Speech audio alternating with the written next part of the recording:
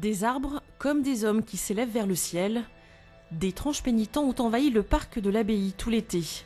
L'exposition des figures de Christian Lapie aurait dû déménager prochainement, mais la permanence des ombres, c'est le nom de ce groupe de sculptures, voudrait s'y installer pour toujours. Cette œuvre aussi, euh, on a envie de la garder.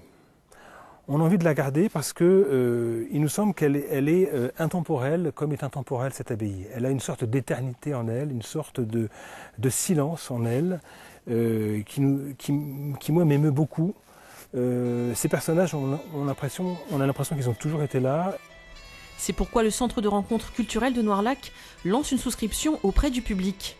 Cette œuvre en bois brûlé et verni coûte 40 000 euros. Changement d'époque oblige, le directeur ne veut pas faire appel aux collectivités pour l'acheter. On est dans une logique de partage. Il ne s'agit pas d'aller euh, chercher un financement, euh, d'aller chercher des financeurs. Il s'agit de se dire ce projet-ci, on, on, veut le partager avec la population, on veut, on veut, le partager aussi avec les entreprises locales, parce que nous pensons que l'art contemporain, euh, à un moment donné, dans un lieu comme celui-ci, fait des bras. Des touristes ont déjà promis de faire des dons, des dons qui seront bien sûr déductibles des impôts, un argument de plus pour garder la permanence des ombres à Noirlac.